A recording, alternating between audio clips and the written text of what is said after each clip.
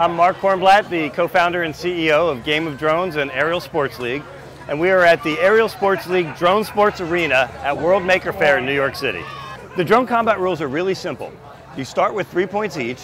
Each time you hit the ground and can't get back up, or if you get caught in the net, you lose a point.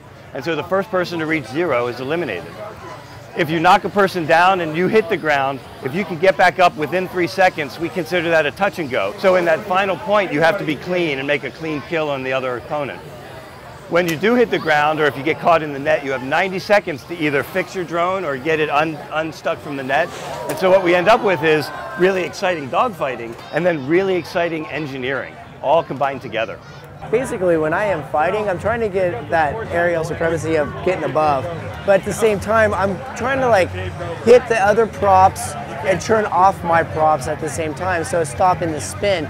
In the beginning, we used to go at it, bam, and they fall down, pretty uneventful and just prepare time.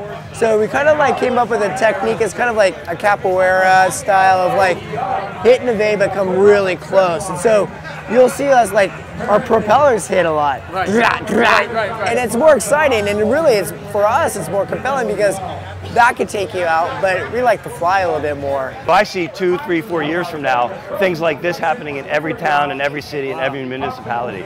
Drone racing on TV, huge arenas filled with drone sports. It, it's clearly coming, and it seems like it's coming faster than most hobbies turn into a, a vocation.